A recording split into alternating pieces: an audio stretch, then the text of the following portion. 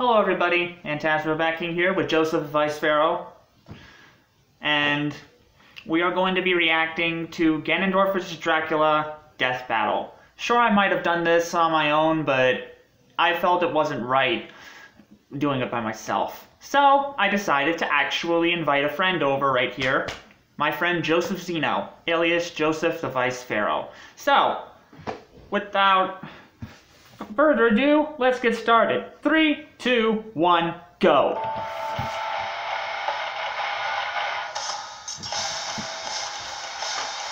Fame may be fleeting, and wealth ephemeral, but true evil never dies. It just comes back with a goddamn second health bar. Ganondorf, the calamitous demon king of Princess Zelda's Hyrule. And Dracula, the everlasting vampire lord of Castlevania. He's Wiz and I'm Boomstick. And it's our job to analyze their weapons, armor, and skills to find out who would win a death battle. Millennia ago, in an age long past, the Demon King Demise threatened to pull the world into blood and war. Until he got his ass slapped by this pointy-eared boy in green. Undaunted by being, you know, murdered, Demise cursed the blood of the goddess and the spirit of the hero to be forever haunted by his wrath-made flesh. That curse became Ganondorf Dragmire. Good old Dorf was born to the Gerudo tribe of the desert. Thing is, the Gerudo were all ladies, and Ganondorf was the first male born in a hundred years, which automatically made him their king. Because reasons, I guess. Wait, wait, so he gets to be in charge and has the best odds on Tinder? That's my dream come true. Who could want more? Ganondorf could. Jealous of the neighboring kingdom of Hyrule's verdant fields, clean water, and not being a godforsaken desert, he dreamed of a better world for his people. Or, you know, just for himself. Being the reincarnation of ultimate evil means you're probably kind of a selfish douche. And surprisingly, his vile ambitions would be rewarded. Turns out he was also preternaturally adept at magic, as befits an education from his caretakers, the witches Koume and Kotake. Twinrova. From them, Dorf learned to pitch balls of electricity, summon lightning, move objects with telekinesis, levitate, form barriers, and control minds. When he wishes to fight from a distance, he can create phantom horsemen or puppets of himself to battle as his proxies. Or if he wants to get personal, he can use his dark magic to enhance his physical strengths, making him a badass in all ranges. He's a master with a blade, sometimes two, and sometimes on horseback. And sometimes two swords on two horsebacks. Oh, let's not get crazy. He was just a man, after all, though not for long. With his magical training complete, Ganondorf put his greatest skill to the test his raw cunning. By manipulating the rulers of Hyrule and its neighboring domains, as well as a curiously familiar boy in green, Hey, what do you know? Weird coincidence. Ganondorf gained entry to an alternate dimension called the Sacred Realm. Within it lay the Triforce, a magical artifact left by the gods said to grant the wish of whomever touches it. The perfect solution to all your world conquering needs. Except once Ganondorf got his hands on those golden Doritos, two of them jumped ship. See, only someone with a perfect balance of courage, wisdom, and power can wield the complete Triforce. If someone with an imbalance between those three virtues touches it, it splits. In this case, the pieces of wisdom and courage went to Ganondorf's enemies, Princess Zelda and the hero Link. Ah, that's embarrassing. But he did get to keep the Triforce of Power, because who needs the courage and wisdom shit when you can just blow stuff up? How I live. Even on its own, the Triforce of Power radically improved Ganondorf's strength and magical prowess, while also elevating him from a mere warlock to the Demon King he was always meant to be. Literally, he can turn into a big blue pig monster. The dark beast known simply as Ganon is a nearly unstoppable terror, gaining even greater strength without sacrificing any of his intellect. As a bacon wizard, he can obliterate foes with fireballs, Bacon turn wizard. invisible, teleport, summon darkness, and even distort the space around him. Despite all that power and even successfully ruling Hyrule for seven years, Ganondorf was soundly defeated and sealed within the Sacred Realm. There he remained, trapped outside the spaces of reality, a prisoner to the void between space and time, never to return ever, ever again. Sorry, sorry. I couldn't keep a straight face. yeah, no, he got out like the next day. so nothing holds Ganon back for long, and he's insanely tough to kill. In fact, thanks to his part of the Triforce, he's almost indestructible. While most weapons can technically harm him, it usually takes a holy weapon like the Master Sword or light arrows to put him down. He once survived being crushed within his own castle, which, based on its size and composition here, and accounting for the hollowed out interior, should weigh over 11,000 tons. Even better, he later withstood a different castle exploding around him. Wow, some of this guy in castles. By measuring the size of the in-game castle model and assuming violent fragmentation, we can determine it was a blast worth almost 2 kilotons of TNT, a yield comparable to early atomic bombs. and even though holy weapons can bypass his defenses, he still survived being stabbed in the face with the Master Sword. You know, the literal blade of evil's bane. Or like when he was impaled through the chest by one of the sages after he was supposedly sealed away. He just yanked that shit right out and murdered the bastards that did it to him. Uh, heads up, Wiz, you ever stab me again, and that's what's happening to you. Reference to Aquaman versus well, Namor. Ganondorf isn't just tough. He's powerful enough to punch shockwaves, tear up an island, and block out the sky with his magical malice. Plus, he can keep up with Link. He's even killed him in one timeline. And this fairy boy can dodge Beamos lasers. By the way, the Ocarina of Time game actually splits into three time, two timelines, and well, one timeline splits into another two timelines, making there three timelines. In the Downfall timeline, Ganondorf triumphs against Link. In the Child timeline, where Ganondorf is busted before he could even commit his vicious deeds. And then there's the adult timeline, where he's sealed, and then Wind Waker soonly follows. Back to the death battle, however. Which are literal lasers. They move in a straight line, burn instead of exploding, and according to the game's guidebook, are called lasers. So they should move at light speed. Based on the distance Link moved relative to this beam, we can estimate his own reaction speed to be about 11% the speed of light. Too bad old Dorf Lundgren doesn't get to hold on to Hyrule for too long. Still, you can stab and seal him away all you want. This big pork bastard will always be back to bring about your crispy demise.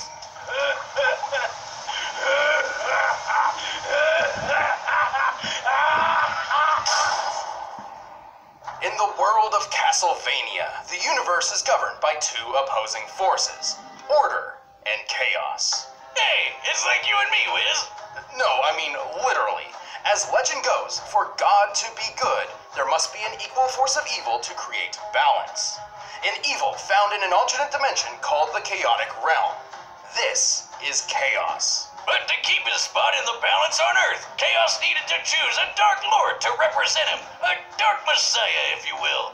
As luck would have it, a perfect candidate would end up choosing him. In the 11th century, Matthias Cronqvist was the strategic mastermind behind a company of knights, alongside fellow commander and best friend, Leon Belmont. But as with most bromances, it got screwed up by a homance. Boomstick, have some tact. His wife died from a horrible illness. Was it third wheeling? I'm sorry, Wiz, but you can already tell this guy is evil because his name is Math. I mean, I know we use math all the time to do the show, but sometimes one must embrace the darkness to see the light. That is deep. Anyway, Matthias's grief was so intense, he swore vengeance on God himself. To achieve his vengeance, Matthias sought the powers of God's polar opposite, chaos. So he set up an easy six-step plan.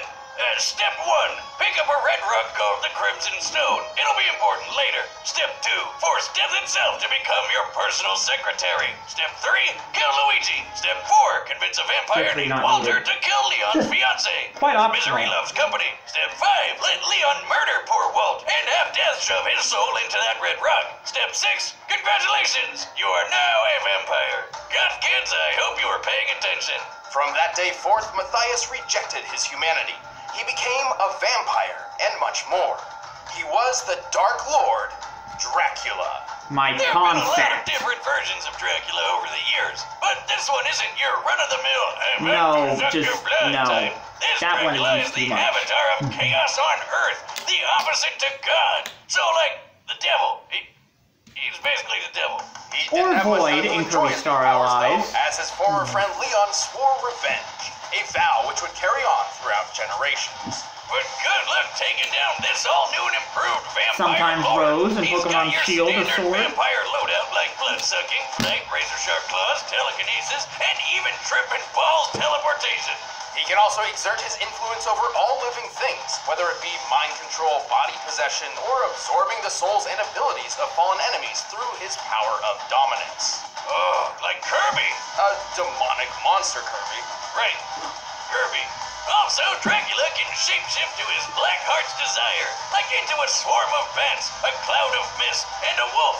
Oh, I get it. The opposite to God, because he's a dog just like the way Alucard is Dracula backwards. God, I should do science. He's also a master sorcerer, able to summon fireballs, meteors, and acid blood rain from the sky. Dark Inferno is a huge ball of magma that will fry anything in its path, and he can revitalize himself with another's life energy via Soul Steal. Then there's his most powerful attack, a localized nuke of holy magic, the demonic Megiddo. With all these powers, it's no wonder Europe trembled at his presence for centuries, though perhaps their fears were unfounded. Yeah, despite being living chaos or whatever, Dracula was sometimes a pretty chill guy. He even got himself married and had a kid. Then again, kids are also by the the way. embodiment of chaos. Sadly, the people of a nearby church grew suspect of his wife, accusing her of witchcraft. So they burned her at the stake, and Dracula swore vengeance upon the god they followed as. Wait, wait, wait, wait. Did he just get a total repeat of his backstory? Man, this guy can't catch a break. He was even forced to battle multiple descendants of Belmont, many of whom would actually defeat him. Well, sort of. Turns out Dracula is a much tougher vampire to kill than lame old Walter.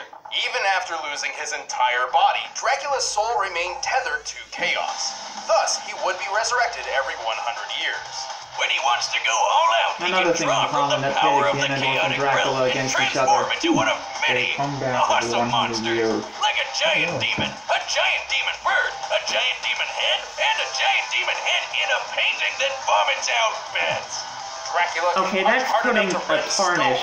move quick enough to catch That's putting a tarnish to my name. Warp the fabric of reality itself. He's tough enough to survive a lightning strike, get blasted by an enormous meteor, and even get crushed under the weight of his fortress, aka the Castlevania. By measuring the size of Castlevania on the game's official art, we know it should weigh around 2 million tons. Even then, Dracula has regenerated his body Four from billion pounds, decapitation, by the a way. mess of blood, and even full-on disintegration. So how the hell does he keep getting killed by everyone from Discount Conan to the Ghost of Weeb's past? Naturally, with the help of holy weapons, which Dracula is certainly not a fan of. Also, even when he's turned his body into some misty vape clouds, he keeps his head vulnerable. Because video games. Or more precisely, his hubris. Dracula's blatant arrogance would lead to his ultimate downfall, allowing his enemies to sever his connection to the chaotic realm and thus end his cycle of resurrections. So instead, he was reincarnated. Into a white-haired anime boy with the power of friendship. Soma Cruz, who turned out to be just as powerful as Dracula Classic, like when he dodged beams of light or when he defeated chaos itself. Dracula's influence and power would never truly end. Even 10,000 years into the future, his bloodline continues to strike terror into the hearts of men. As long as good and evil exist, Hold up, that's his kid? What the hell happened to him? ahem, no ordinary man can stand up to the incredible force that is the Dark Lord Dracula. Behold my true form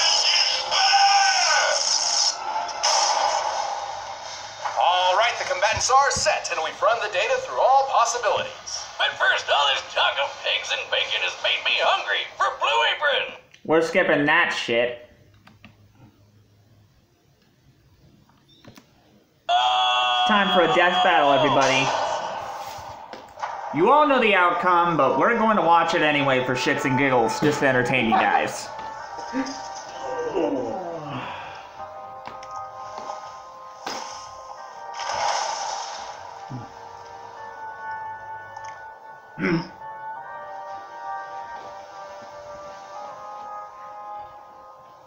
Your castle is lost, vampire. No man can challenge my power. But what is a man? A miserable pile of secrets. This is where he usually says that enough talk have at you, but he was cut off. I know me a man. Yeah.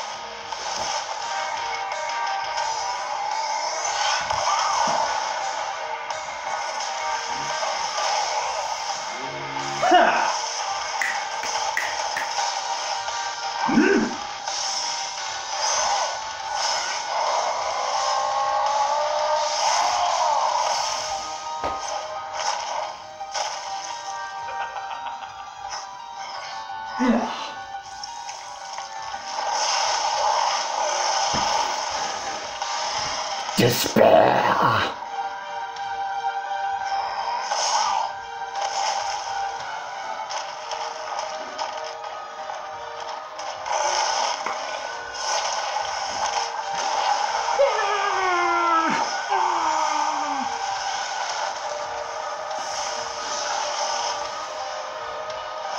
Behold the true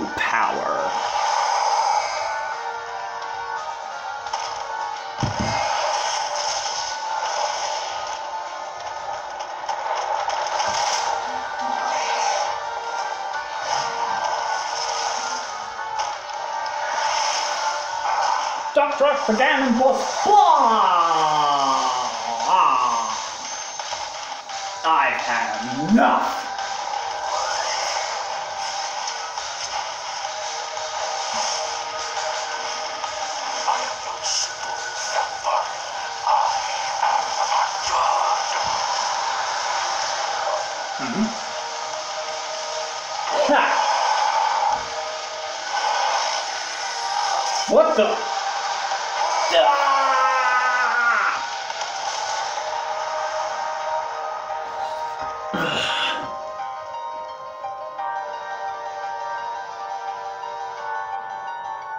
You're.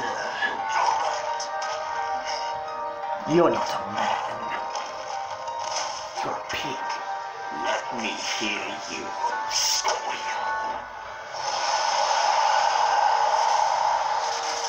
So this is how I die. Yay! Fatality. Well, it's all Hallows Eve themed, so it's natural that he drink his fluids in front of me. Eh.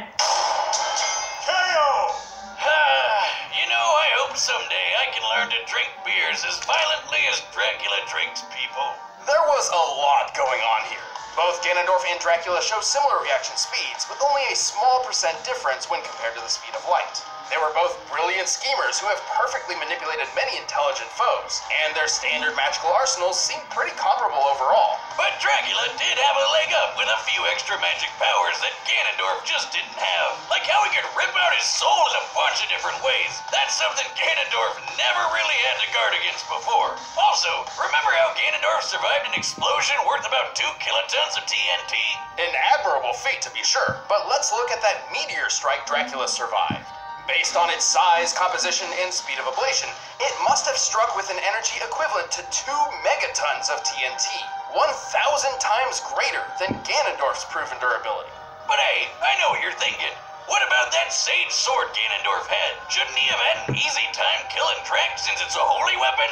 In some circumstances, sure, running this fight over and over a hundred times, Ganondorf would certainly score a few victories. But when considering Dracula's absurd regenerative abilities, it would take more than just a few hits from a holy weapon to finish him off. Not to mention, Dracula also wielded a holy weapon that took advantage of Ganondorf's weakness in the form of demonic Megiddo. Yeah, I know it's called demonic, so it seems weird, but it is explicitly described to be holy magic. And dropping a holy new gun, Ganondorf was a way more powerful victory move than trying to hit Dracula with a sword. And that's really what this came down to power. Despite literally wielding the Triforce of Power, Ganondorf's potential paled in comparison to the energy Dracula drew from Chaos. Let's put this in perspective. The Triforce of Power comes from the goddess Din, who made the Earth. While we don't know the exact amount of power Din put in this piece, let's just highball it and directly compare it to her. So the energy attributed to the Triforce of Power could be compared to the size and energy of a planet. However, the Chaotic Realm is an entire universe, completely upheld by the power of the Chaos entity. That is leagues greater than the power Ganondorf possessed. So it definitely had a lot more juice to give. Try thinking of the Chaotic Realm and the Triforce of Power as batteries, which fuel Dracula and Ganon's abilities. Compared to each other, Dracula would be drawing energy from something like a car Nintendo battery. Switch, Ganondorf's while would be Ganondorf's would be more adi- akin to this. I'll give you five bucks if you lick that battery. Ganondorf certainly held his own, but Dracula's more varied magic, greater regeneration, and enormous reserves of power sealed this desert warlock's fate. Of all the ways to go, that must have sucked. The Big Pig's chances were slim to gan none. The winner is Dracula. Looks like Dracula's having pork chops tonight. Anyways, I hope you liked this reaction. Be sure to like, comment, and subscribe if you thought it was good. I'm sorry that my friend Joe had to leave in the at the beginning of the death battle itself, but eh. Sometimes life can be harsh. Anyways, I hope to see you guys when I see you guys. Make sure to check out my other videos on my YouTube channel. And as the Magnemite says, I quote, and as always, toodles.